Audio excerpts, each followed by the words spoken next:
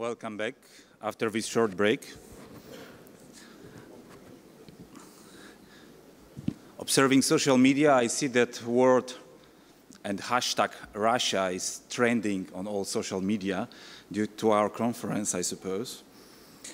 Distinguished guests, uh, ladies and gentlemen, Ambassador Vershbow, it's a great pri privilege for me to introduce to you our special guest, NATO Deputy Secretary General, Ambassador Alexander Vershbow.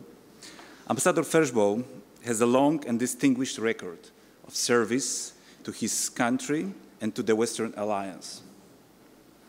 He was a career member of the United States Foreign Service from 1977 to 2008. You started to, your work before I was born.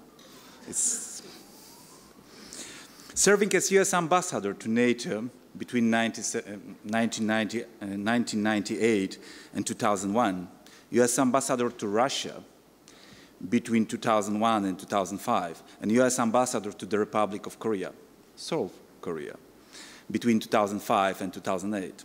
After three years as Assistant Secretary of Defense for International Security Affairs, he joined NATO as Deputy Secretary General in 2012. In my welcome remarks at the beginning of the conference yesterday morning, I mentioned that as well as traditional collective security issues, it is important that the Western alliance retains its sense of moral, clarity. As US ambassador in the, uh, South Korea, Ambassador Vershbow demonstrated moral clarity and leadership in consistently drawing attention to the crimes of North Korean regime. He is deserving of our admiration for his principled approach through his career to wide range of some of the most difficult issues in global politics, and few people are better placed to enlighten us on the subject of European and transatlantic security today. Ambassador, we are so delighted we're able to, that you were able to join us at the Warsaw Security Forum.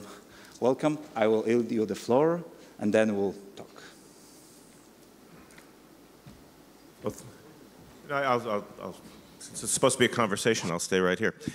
Uh, but thank you very much, Zbigniew. Thanks for the opportunity to, uh, to speak today. I don't know whether it's a privilege or a punishment to be up here all by myself for a, for a period of interrogation.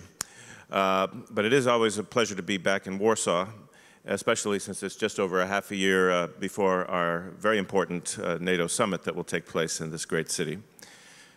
And our leaders will come together at a time of uh, tremendous uncertainty, uh, tre tremendous change uh, in the world uh, to review the progress we've made in the two years since the Wales Summit, but even more importantly, to chart a course for the future. So before we go into the interrogation phase, let me uh, say a few uh, thoughts about the challenges we face, what we've been doing about them to date, and some of the things we still need to do to maintain our security and to defend our values in uh, the years ahead.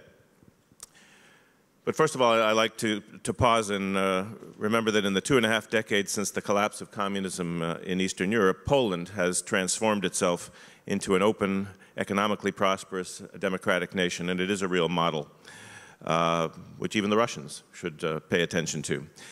Uh, the prospect of joining NATO, followed by actual membership, gave your country confidence in its own security.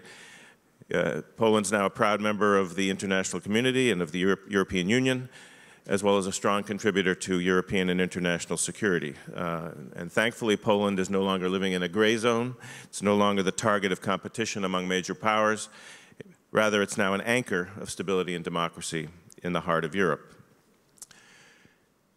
And this has been possible uh, because the countries of Eastern and Western Europe, with a little active support from the United States, uh, came together after the Cold War, rejecting Cold War animosity and ancient uh, national rivalries. Uh, instead, they opted for a better future based on unity, friendship, and shared values within a peaceful and benign security environment. But today, that environment uh, is under threat uh, for the first time in NATO's history, we're under pressure on two flanks rather than one.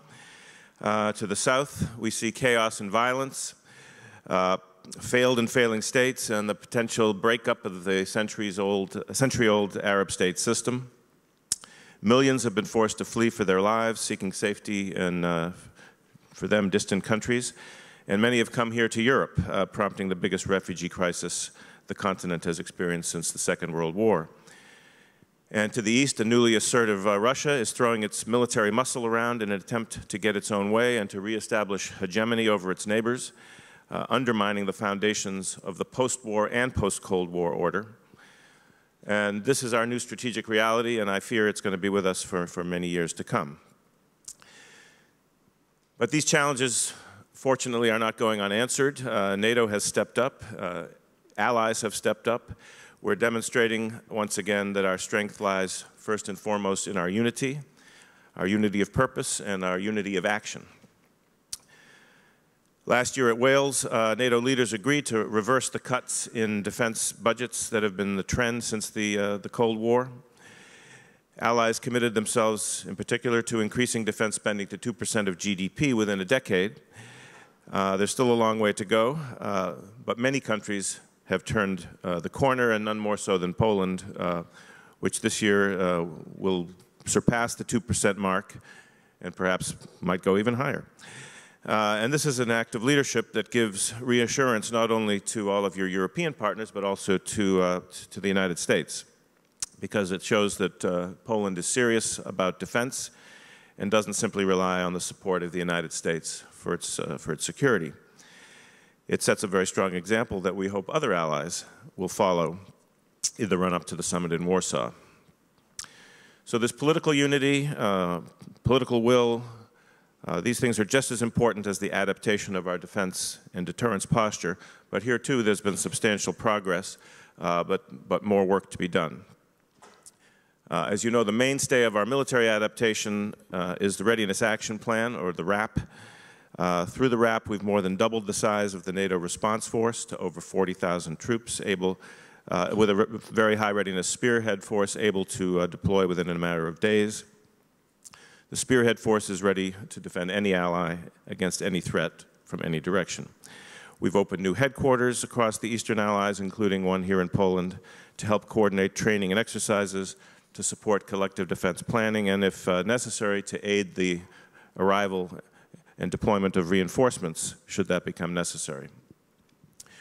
So already we can say that NATO is stronger and more agile than it has been for a long time, and this is being demonstrated in the exercise Trident Juncture that comes to an end today uh, down in Spain, Portugal, and Italy. Uh, it's the largest and most complex exercise for over a decade, and while the scenario isn't about uh, Russia, I think the capabilities we're demonstrating should be, should be uh, noticed uh, by Russia. But this is only the first part of NATO's adaptation. Uh, Warsaw Summit is going to be a landmark event. It's not just a uh, registering of the progress made, but uh, although we have to be able to say that we've delivered on what we promised at Wales, but there's going to be more work to be done as we look uh, out to the horizon, to the long-term needs of the alliance. Uh, we need a strategy that will deter, deter any potential adversary from even thinking of attacking us, and one that equips us to counter uh, the full breadth of potential threats for the long term.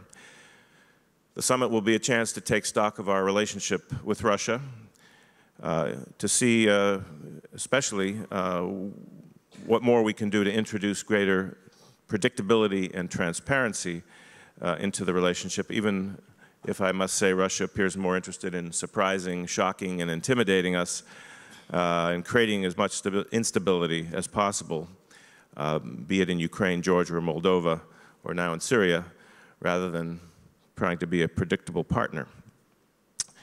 And indeed, Russia seems to want to return to the great game of uh, influence and control over those weaker than itself. And this is not a game that we want to play. So, so we need to address at the summit how do we dissuade Russia from engaging in such tactics going forward, tactics that we believe are not only against our interests and those of Russia's neighbors, but ultimately they're against Russia's own long-term interests as well. So that is a key question that we have to address at Warsaw. Now, coming back to the military side, uh, the RAP is a solid foundation, but we need to build on it if we're going to effectively deter a revanchist Russia. We need to counter Russia's so-called anti-access and area denial, uh, capability, the bastion defense capabilities that it has built up, so that we can be truly confident that we will be able to reinforce our allies uh, if, if, if, we were threatened. Uh, this bastion defense has long been a concern in the Baltic Sea region with the Russian capabilities in Kaliningrad, but since uh, the illegal annexation of Crimea and Russia's latest moves in Syria, it's now also an issue for the Black Sea region and for the Eastern Mediterranean too. So to address this threat and ensure deterrence uh, for the long term, we need to look at things like the additional prepositioning of equipment, uh, prepositioning of enablers, and potentially the forward, uh, forward stationing of additional combat units uh, on a rotational basis. But Russia's tactics, of course, go beyond the conventional, so we need to increase our resilience uh, against non-conventional hybrid attacks. Uh, we saw this in Crimea and again in eastern Ukraine uh, with powerful propaganda campaigns, the infamous Little Green Men, and the implausible denials of even the most obvious Russian military presence. Countering such tactics will require better intelligence sharing, more effective means to counter cyber attacks, and far closer cooperation with other international organizations, but most notably the European Union, and we're working on that. So NATO will always do what it takes to keep allies safe, uh, but another dimension of uh, Warsaw is the fact that in today's interconnected world, trouble abroad can quickly become trouble at home, so we can't try to become an island of stability while remaining surrounded by a sea of fire. If we want our countries to be secure, then we have to do more to ensure our neighborhood is stable. And this means investing far more than we do now uh, in our partners, in our partnership uh, programs. Uh, an ounce of prevention is worth a pound of cure, as the saying goes, and that's why we're investing heavily in collective defense to deter aggression. Uh, but it's also why we must do far more with our partners in uh, our wider neighborhood. In the East, we have to help those neighbors who, neighbors who are under pressure from Russia, Ukraine, Georgia, Moldova, uh, to stand their ground and to maintain their sovereignty. And we must help southern partners to strengthen their defense capabilities, to combat extremism, to try to counter and ultimately destroy the uh, evil influence of ISIL, and uh, generally to, to contain the explosive tendencies that are raging across the, north, uh, the region of North Africa and the Middle East. So doing this properly will require political will and will require resources. As I said, more resources than we're putting into these efforts now. And I think this will be one of the most pressing challenges for our leaders in the run-up to, uh, to the summit here in Warsaw. So we've uh, seen our world go from relatively benign 25 years ago uh, to a relatively dangerous world, but uh, NATO hasn't stood still. NATO is always adapting and reinventing itself uh, so that we can still keep our country safe and secure and try to project stability into our neighborhood. Uh, that's our continuing mission, and the, the, Warsaw Summit will be a very important milestone in giving us the tools to, uh, to hopefully bring back that benign environment uh, that we would like to see. So I'm now ready for uh, your questions and look forward to an exchange of ideas. Thank you. Thank you, Ambassador Vershbow, for these very interesting remarks. I'm sure they will be in detail analyzed in articles uh, after the Warsaw Security Forum.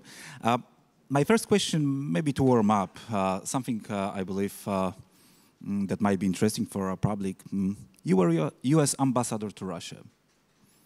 Uh, what, in your view, is the difference between Putin then and Putin now? And do you think the, the way he has developed was inevitable? Well, I think uh, President Putin has, has been the same person since the days he was a KGB officer in uh, East Germany. And uh, as he rose through the uh, complexities of Russian politics in the 90s. And uh, when he became president, uh, shortly before I arrived as, as ambassador, I think we saw a lot of the, the trends that are now even more pronounced already emerging in the years I was ambassador from 2001 to 2005 in, the, in his first and early second term. In terms of the um, mistrust of uh, civil society and the efforts to, to, to contain and control uh, NGOs, to uh, roll back the uh, independent media that had become very well uh, entrenched uh, in the late 90s, to he, he, of course, did uh, stabilize the economy. Perhaps a lot of the things he got credit for were already emerging in the late 90s. But uh,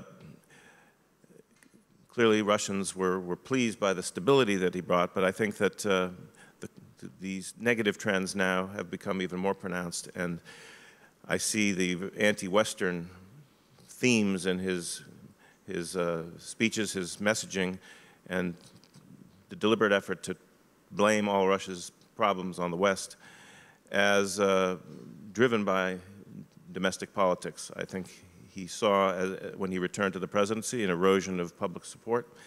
And I think he found that uh, not being able to deliver the prosperity that he delivered in his first term, that he had to turn to xenophobia and an anti-Western uh, agenda uh, to, to, boost his, his ratings. And uh, so I think a lot of what's happening now in Russia is driven by domestic politics. That was the case when I was ambassador, and I think that's the case now.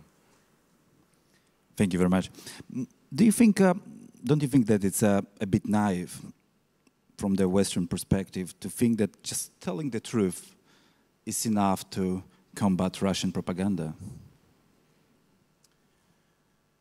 Well, telling the truth has to be the foundation. Uh, we, we don't want to counter propaganda with more propaganda. Uh, and I think on many of the issues where the Russians have been uh, very aggressive in their propaganda. The facts ultimately uh, are on our side. Uh, I think we've seen this in the case of the uh, shoot down of the Malaysian uh, airliner.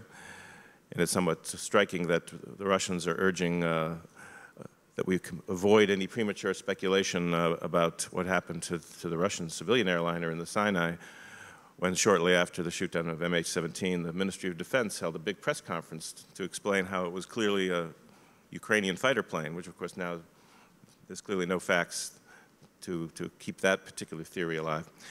Uh, but clearly, uh, Russia, Russian propaganda uh, is very sophisticated, and uh, we have to understand how Putin is able to push some of the buttons in, in our own societies and uh, gain support for what uh, uh, our policies, such as the illegal annexation of Crimea, which should unite us in, in, in, opposition to, to what the Russians have done. I think he has succeeded some, to some degree in putting forward a very inaccurate revisionist history of the last 20, 25 years. Uh, I think it's forgotten by many of pe the people in our own societies how much we reached out to Russia, how much we tried to help Russia, to include Russia in our common European security structures. Uh, we even helped Russia acquire 3,000 nuclear weapons from, from Ukraine as under the Budapest uh, Memorandum. Uh, so the idea that our, strategy since the end of the Cold War has been to weaken and marginalize Russia is simply borne out by the, not borne out by the facts. But nevertheless, a lot of people in our societies believe this. So we need not just to, to uh, uh, tell the truth, but be more persistent in explaining our side of the story. Would you give an interview to Russia today? I've done that once before. Uh, do, do several years do ago. Do you regret? no, I thought it was actually an opportunity. Um, it was on the subject of missile defense. I was attending um, Moscow Security Conference, the first, first one they held, I think it was in 2012. And it was an opportunity to, I think, put, put some facts on the record uh, that exposed the, uh, the fallaciousness of the Russian uh, propaganda campaign against missile defense. So I'm not sure that I would get a similar opportunity in, in today's uh, environment, however. You're responsible for NATO intelligence. Um, how do you deal with the reality that NATO is only as secure as its weakest member. Well, this is it's not only a question about intelligence. Obviously, uh, every ally on the defense side has to uh, do its fair share, and we have a NATO collective defense planning process that uh, ensures that even sm sm the smallest ally can make a tangible contribution to our overall defense and, of course, to its own uh, territorial defense, which is a you know, defense starts at home. On the intelligence side, uh, I think we have pretty good procedures in place for, uh, for uh, providing security clearances to people uh, working within the alliance, uh, both on the civilian and the military side, and in protecting uh, the intelligence information that allies share with us. Yes, there have been a few uh, uh, breaches over the years, but this happens in our countries as well. But I think on the whole, allies recognize the importance of upholding NATO security standards. And it's especially tricky when NATO itself doesn't collect any intelligence. We're completely dependent on what the, the nations will share to us. So we go out of our way to assure all the services around the alliance that information they provide to us with, with whatever restrictions they put on it will be protected, will only be shared to the degree that they uh, are prepared to see it shared, whether with members or with partners. So uh, I think on that, that score, we're in pretty good shape. Where I'm worried, as I said in my remarks, is we don't have the ability to, to, to share intelligence, to feed it into our system as quickly so, as we need in, uh, in the face of hybrid challenges and uh, the Russians' ability to rapidly mobilize forces. So if on intelligence we are uh, secure, maybe one question about the GDP spending. Um, uh, should the 2% rule become a condition for membership? Or should participation rights be suspended for consistent failure to comply? I don't think we uh, could ever get allies to agree on, on, on sanctions within the alliance for uh, for those countries who don't live up to the defense spending pledge. We're a democratic alliance. We have to voluntarily do our part to, uh, to keep NATO strong. I think a little more transparency, however, never hurts.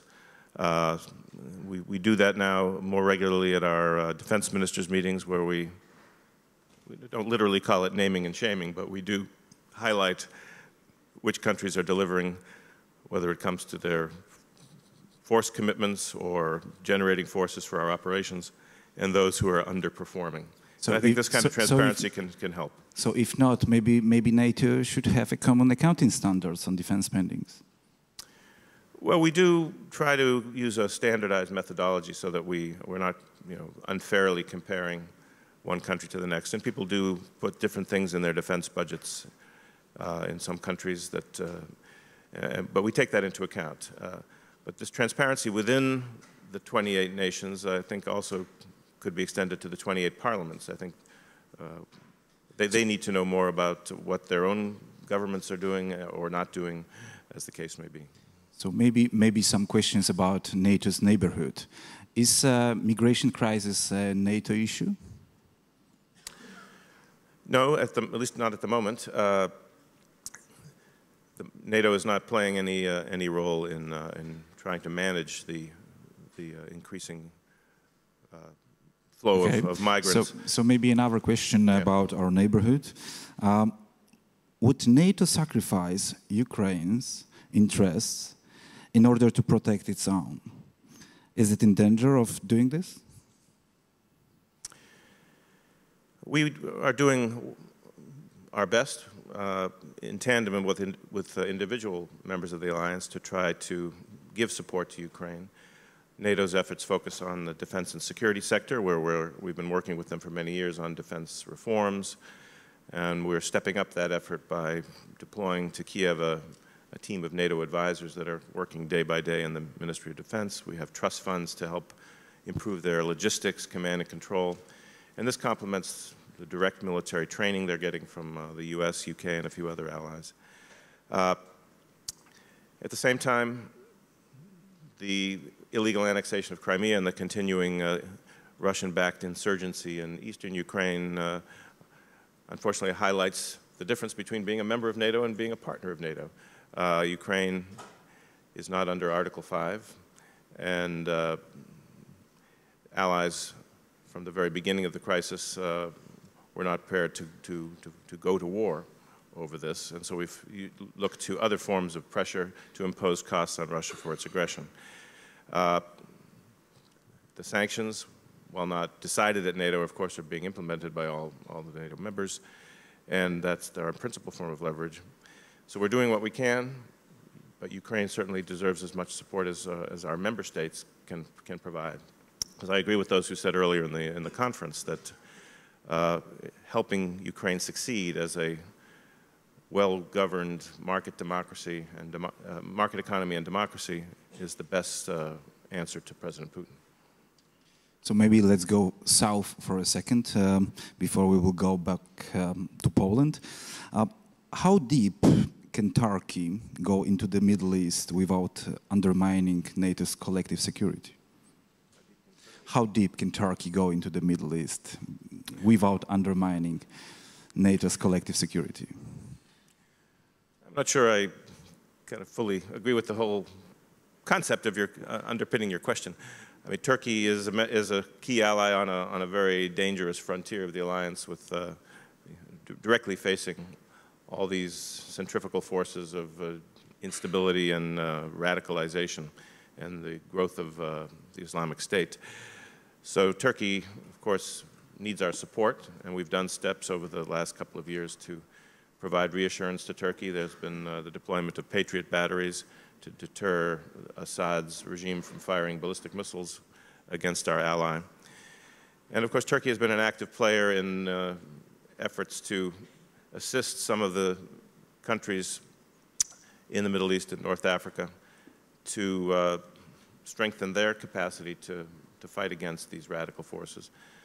So I think it's, it's always a challenge to, uh, to coordinate our policies. A lot of this is taking place through the coalition against ISIL and through bilateral contacts. But uh, at NATO, I think we've seen strong solidarity with Turkey, recognizing its, its vulnerability as well as the domestic terrorist threat that it's trying to, uh, to grapple with at the same time. Okay, so let's go maybe to, um, to Poland uh, and more specifically to the northern eastern part of Poland. There is uh, a term called uh, Suwalki Gap.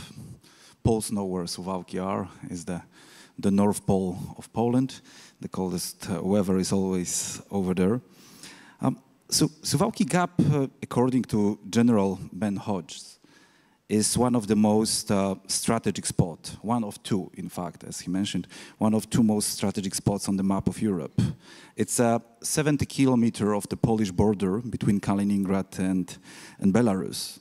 If Russia will take over control over the Suwalki Gap, it will definitely cut out Latvia, Lithuania, and Estonia from the west. Uh, does it mean that uh, if General Hodge undermines that this is the hotspot on the security of Europe, does it mean that Baltic states are um, somehow in the confrontation case, in contingency plan, to be sacrificed? Well, the, the, the, short answer to your question is we're uh, not going to sacrifice any ally. We will defend any ally. But the Suwalki Gap is one of the many uh, aspects that we have to take into account in ensuring that we do have effective plans to defend Poland and the Baltic states and to ensure that we can bring the reinforcements that we've committed to bring uh, into any country that's coming under threat. Uh, of course, land access is only one of the ways to bring in those reinforcements, but as I mentioned, we have to reckon with the uh, buildup of Russian naval and air power as well. So there's, there's many challenges that we need to uh, address in delivering a credible and effective reinforcement strategy for the defense of uh, any Eastern ally. And that's one of the challenges that we have to, uh, have to meet uh, between now and the Warsaw Summit.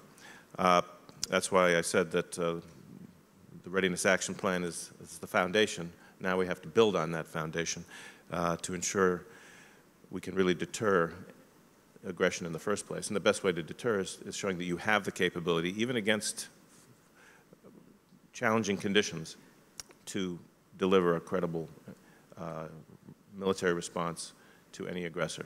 And of course, the hybrid scenarios add to the complexity of that, but uh, we have to be able to be direct aggression as well as hybrid aggression. Um, so maybe one question about um, installations in Poland. I will not ask about bases because you already um, touched this subject, uh, and maybe it will be somehow referred in the questions. But one question, uh, a bit joke maybe, uh, is the next um, NATO center on uh, center of excellence on hybrid warfare will be based in Poland or in Baltic states, where it will be based? or what should, where it should yeah, be well, I, as I recall, I attended an, a summer ceremony a few weeks ago uh, on the launching of a Center of Excellence on Counterintelligence, which is very much a dimension of hybrid warfare, which will be, uh, I think, co-sponsored by Poland and Slovakia. Uh, so let's say so- so- Poland. It's yeah, okay. the, the main the main center will be in Poland, and the training facility will be in Slovakia. So uh, that's a very good initiative. We take it as a promise. um, as um, I would like to yield the floor to the public, and uh, uh, my last question, um, the maybe easier one, uh, will the Warsaw NATO Summit 2060 uh, will be in uh, retrospect as uh, perceived as a radical change in NATO's direction? Well, yeah, historians might, might use the term radical. Uh, I think it will be a very significant summit. Uh, it has to be, because the, uh, the security situation has uh, become even more complex since uh, the Wales summit. You know, that was our immediate answer to uh, the new threats that we, that we now see from Russia. And then the, the challenges to the south, while they were getting worse, I think weren't as stark as they are today. So so now we, uh, we have, have to, to step up even further. I think we need, uh, especially to make deterrence credible for the long haul. This is no longer uh, seen as a, as a temporary shift in the, in the Euro Europe, European security situation. It's a long-term shift, and we need a long-term response. By the same token, the challenges from the south are much more complex and diverse, and we also need to be very creative on how NATO is going to play its part within the larger international community to address the uh, continuing expansion of radical forces and the continued erosion of, uh, of many of the, uh, of the countries on our periphery. So we have to have a neighborhood strategy, a 360-degree deterrence strategy. So I think all that will add up to a pretty significant uh, summit uh, agenda, and I'm uh, confident that the decisions will, will warrant high praise, if not being termed radical. So uh, thank you very much. It was the easy part. Now let's try the more challenging part. Uh, who would like to ask a question? I see one of the new security leaders here. I see ambassador over there. Okay, so let's time with a young voice, and then ambassador, of course. Thank you very much. Uh, my name is Lukam Geladze. I'm from Georgia, from Cybersecurity Bureau. Thank you for this great opportunity. And my question is, take into consideration the above-mentioned facts and threats.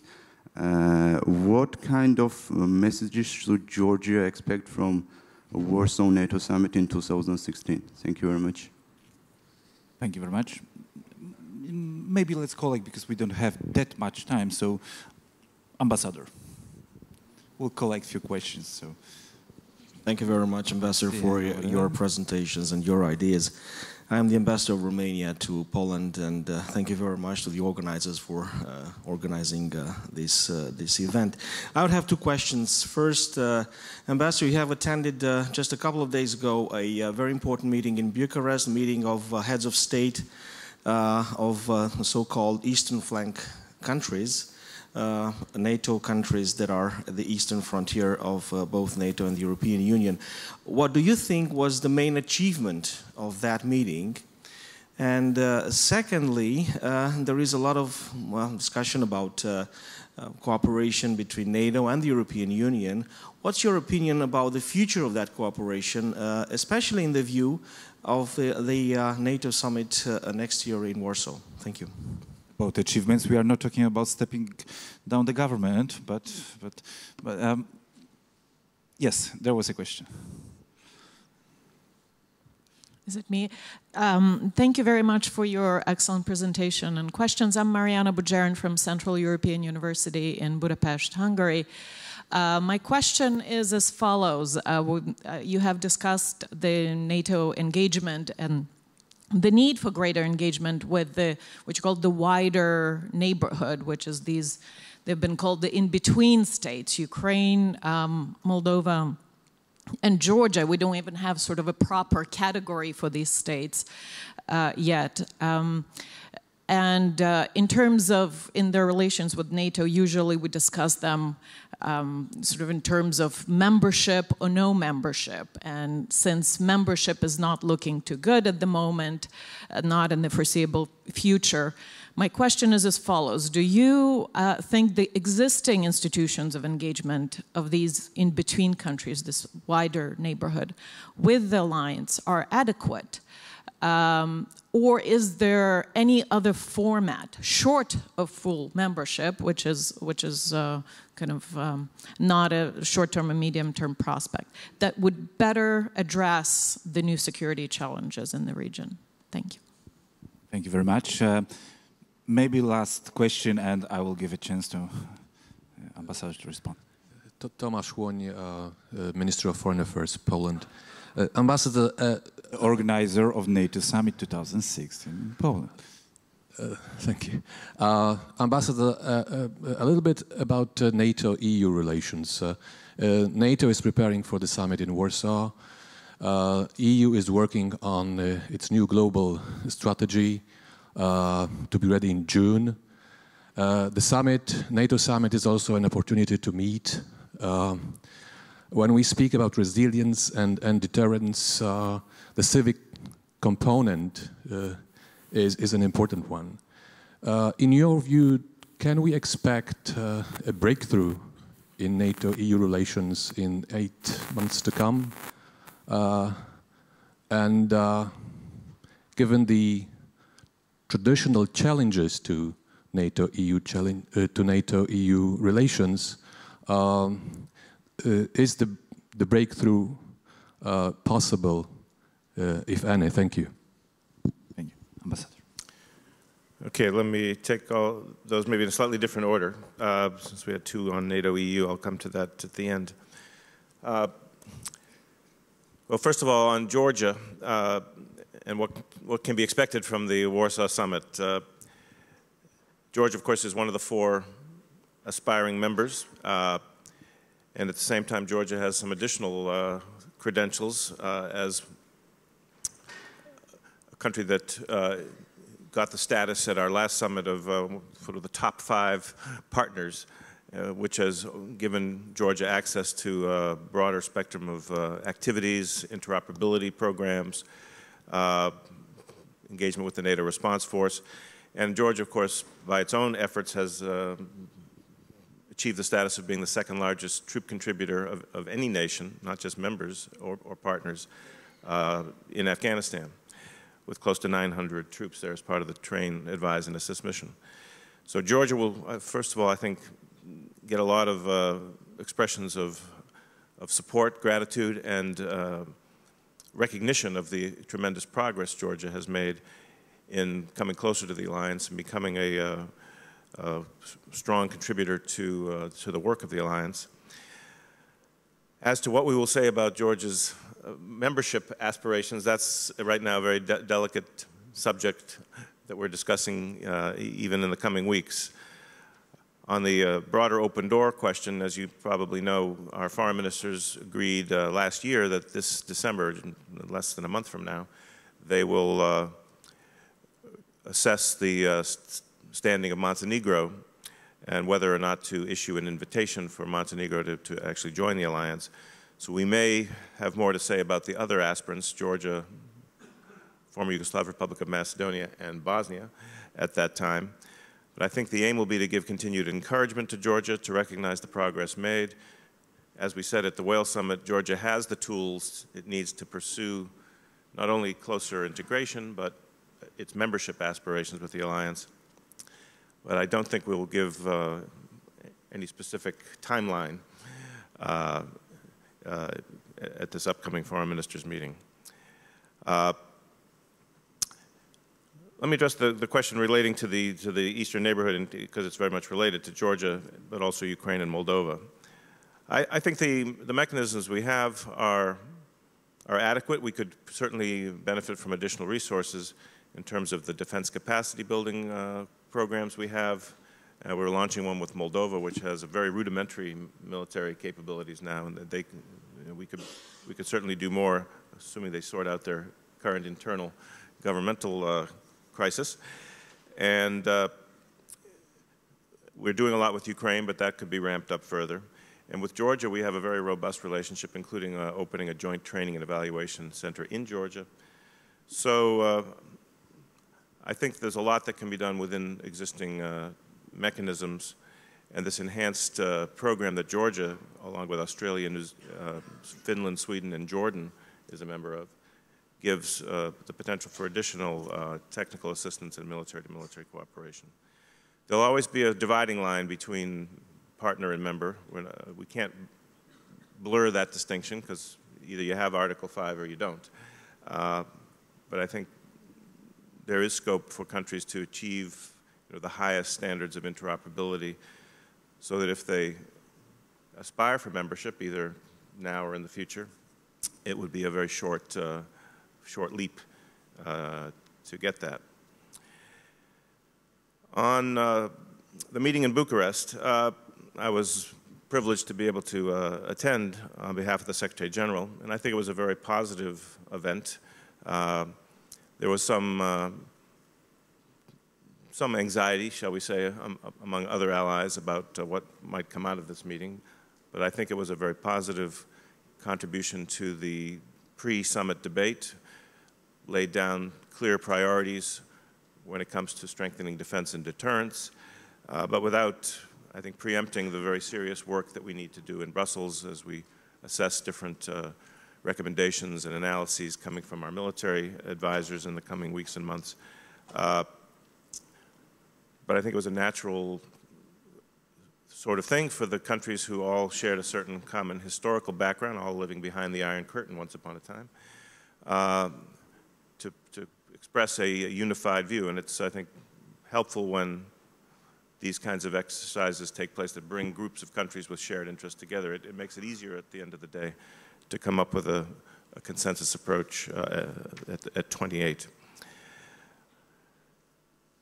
Now on NATO EU, a uh, couple different dimensions to that. Uh, yes, it's, it's an interesting uh, coincidence of timing that the new EU global security strategy is meant to be completed by June, and we have our summit in July. And we've agreed uh, that we should be transparent with our deliberations so that uh, there is at least some coherence and consistency in these two very important uh, events.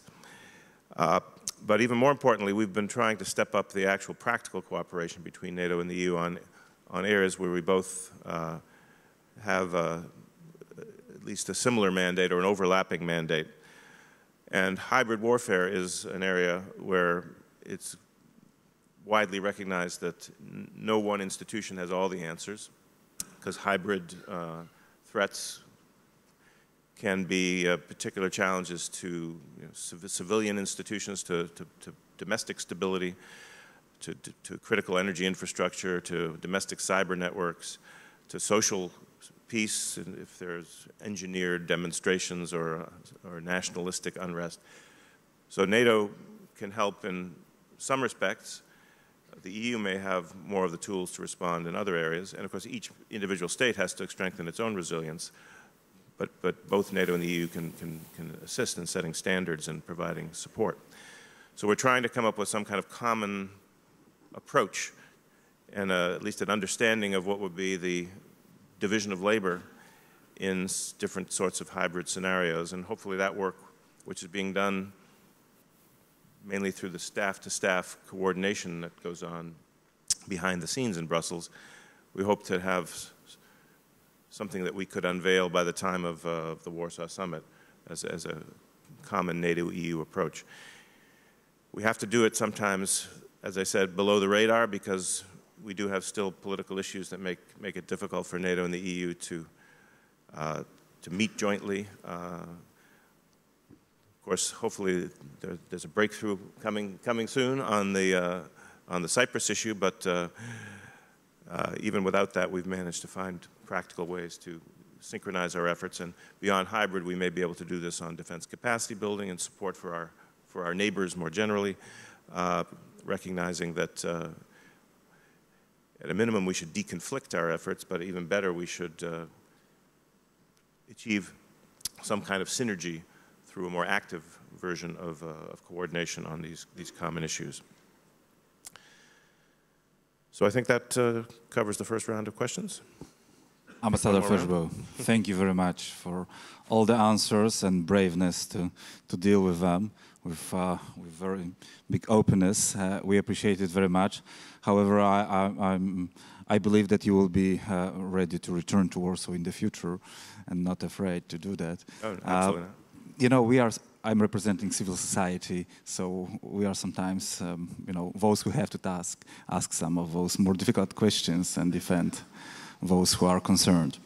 Ambassador, thank you very much, and uh, we all, I think, cross our fingers that NATO summit in Warsaw 2006 will be successful. Thank, you, very much. much.